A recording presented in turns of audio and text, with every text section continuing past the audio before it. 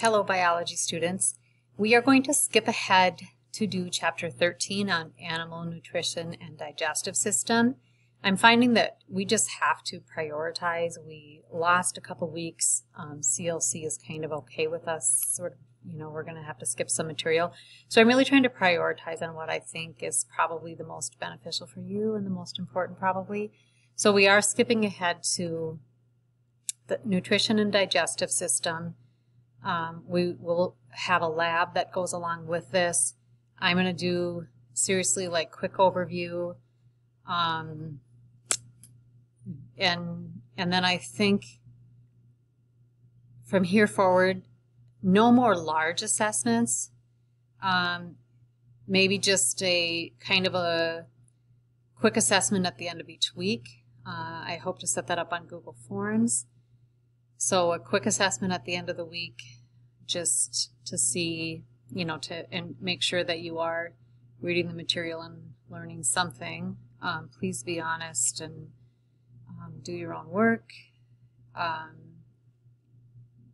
what happens, um, you know, obviously this, if we don't take things seriously here, it's going to come back to haunt you when you're in college. So I, I do want to maintain that we are, uh, you know, that you're doing your own work. All right, so animal nutrition and digestive system. We're going to concentrate on, on the digestive system.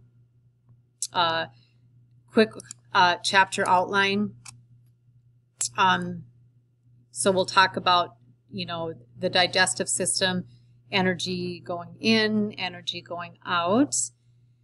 Just a quick overview, um, the digestive process, and then we'll talk a little bit, if we have time, we'll talk about digestive system regulation. No promises there because, you know, we are crunched for time here. Um, if you remember back in biology when we covered the requirements of living things, we said all living things have to take in energy in some way, right? They have to take in energy or nutrition, or they have to take in um, nutrition in some way um, in order to have energy that powers their bodily processes. So for us, and for those of you who who had um, college general biology last semester, we talked of, and did some testing of detecting, you know, those uh, proteins, fats, um, simple carbs, and complex carbs. Um, so that's how we get our food, right? We have to take, or how we get our energy. We have to take in food. It has to be broken down in this digestive process um, some of it's going to be stored, some of it will be used for um, as energy uh, to power processes in our body, like breathing and heart beating and making new cells and all of those things. Main steps of the digestive process, and again, we'll go over these in detail, but ingestion is the taking in of food. That's a really important term. Digestion is the breaking down of that food. Um, and we do say mechanically and chemically. So there's a lot of chemical processes, enzymes, acids in our stomach, um, those kinds of things. But mechanically, you know, chewing, breaking things into smaller pieces, the churning that takes place in our stomach, um, that that also, um, along with the acid in there, um, breaks down our food. Um, you know, movement, food must have to move through that gastrointestinal or GI tract in order to fulfill those functions.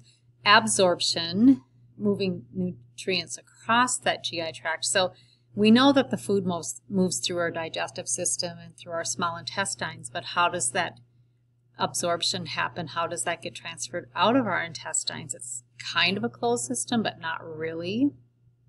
It's again that selectively permeable kind of stuff. Um, and then elimination, how does it get out of the body? Um, we do, so the pathway that food follows as it moves through our system, obviously it goes in our mouth, and this is where chemical, and, and I think we talk about this in the next slide. Um, so we'll talk about, yeah, some of these separately, but from the mouth, um, pharynx is like right, the throat right at the back of the mouth, and then esophagus is the tube that it moves down into the stomach. Um, the stomach, it passes through a sphincter into the small intestine um, and then eventually into the large intestine, and then into the rectum, and then leaves through the anus. And again, we also call this the alimentary canal. Um, the, the mouth, we have, so this is where obviously food enters the digestive system. It's really important to understand that the mouth is a place of not just chewing and breaking stuff down into um, smaller pieces, but we also have enzymes in the saliva that begin to digest starches. If you chew on a soda cracker long enough, you you have to chew on it for I don't know five minutes or something like that, which is a pretty long time to chew on one piece of food. But if you do that, you can actually the starch in soda crackers will start to you'll start to taste a little bit of sweetness, and that's because those enzymes actually are pretty efficient at at breaking down starches are complex carbs and sugars like glucose especially are are simple carbs and it breaks those complex carbs the starches down into simple carbs. Um, so the tongue is important in sort of moving that around. Um, we call it mastification when we chew our food. We're going to skip this slide. So yes we have teeth um, dental caries or cavities occur when, from bacteria. Um, the worst thing you can do is sip on sugary drinks all day long, like pop and Gatorade, sugary and acidic. Don't do that to your teeth. Um, chemical digestion begins, um, I said, in the mouth. We have salivary glands that in our saliva, there's this amylase enzyme. For those of you who had me in 10th grade biology, remember we had artificial saliva um, in and we actually mixed it with a starch solution and then tested for the presence of glucose the next day. Um, and almost all of that starch would get, we'd leave it sit in the incubator overnight. I don't know if you remember that one. Wish we could do it now. Super cool. Um, but yeah, that we, we see evidence of that amylase in saliva.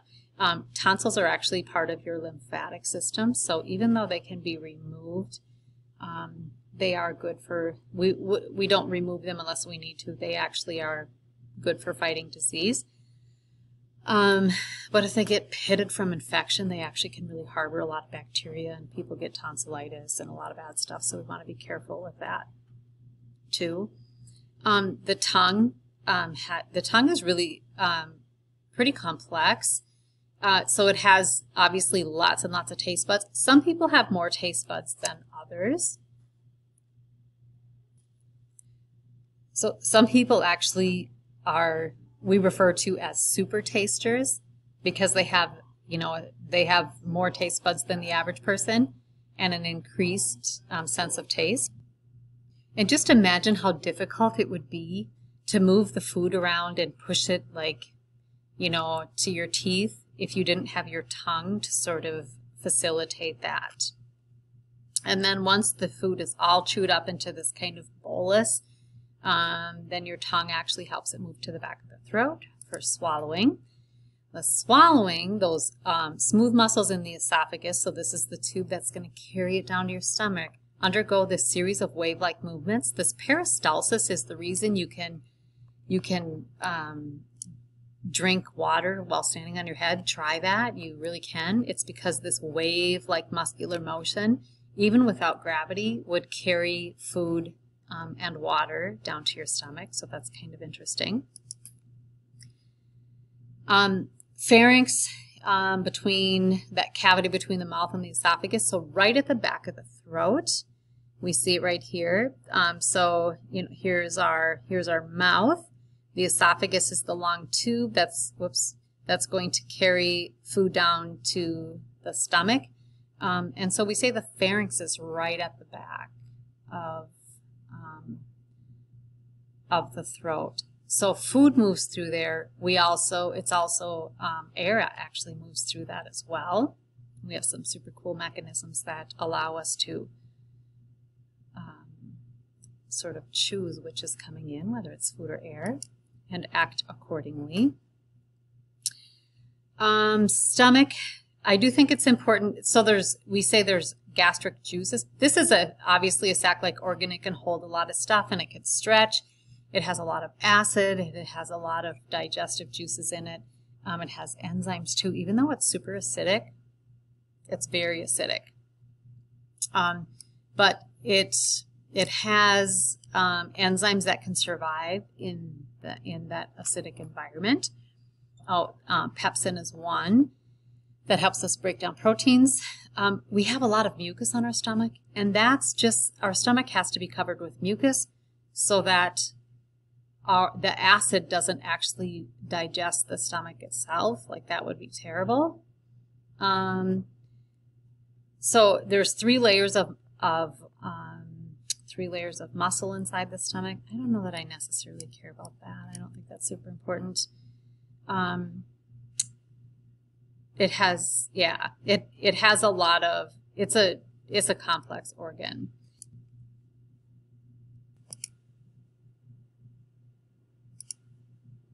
All so chyme um, is emptied from the stomach into the small intestines every two to six hours, or after two to six hours. Um, through there's a sphincter at the end of your stomach. Actually, there's a sphincter at the beginning of your of your stomach too. A sphincter is any any um, muscle that is um, circular and can kind of open and close. So you have actually a lot of sphincters in your body. Um, but this is, so there's a, a, sphincter that opens and allows this um, chyme to be exported um, and secreted into the, it goes into the small intestine. Um, small intestines, um, this is where the big stuff happens uh, as far as um, nutrient uh, absorption. We do have some um, what we would consider accessory organs to digestion, um, which um, the pancreas would be one of those. Um, there's enzymes secreted by the pancreas that are really important in digest digestion. Um, the gallbladder and liver are other accessory organs, meaning that they're, the food doesn't move through them, but they're pretty important in that whole digestive process. Um, sometimes you've probably heard of people getting their gallbladder removed. You can live without your gallbladder. It's really important for digesting fatty foods, though. Um, so sometimes after people have their gallbladder removed, they they really have a problem eating fatty foods. Like that's one of the side effects. Like if you don't have enough bile, then you can't break down that fat. Um, but um, the small intestine is the this is where all, almost all of nutrient absorption occurs, okay? Um, so yeah, just re, it's all about that nutrient absorption. That's why the small intestine has to be so long, like 18 feet long. And it's also why it has these little, um, we say villi or and microvilli, these, these little uh, finger-like or hair-like appendages that line the intestines that just really increase the surface area so that it's a lot more efficient at um, absorbing nutrients from the foods that we eat. The large intestine, on the other hand, um, is an organ that's uh, primary function is absorbing water. It's much shorter than um, much shorter than the small intestine. It's it's right. So after the small intestine, um, your your um, food that that a lot of the nutrients have been absorbed out of then gets um, gets moved into the large intestine. And we do um, you, I mean we can separate them into sections right? So we the colon rectum anal canal even the cecum is a little like appendage that sort of goes goes off. Um, the appendix is part of that uh, again, one and you can live without your appendix. Um, it's a it's a projection off of um, the side of your um, large intestine. We think it plays a role in in fighting infections. Um, we think years ago maybe there were some enzymes produced there, um, but we find we can we can live without it. It's not as important as it maybe once was for us. In addition to water absorption, there are some B, some vitamins that are that are absorbed by the large intestine as well. At the end, we have the the the rectum, and then the opening at the end is the anus, and that is uh, the anal sphincter, another sphincter at the end. Um, and we'll stop there.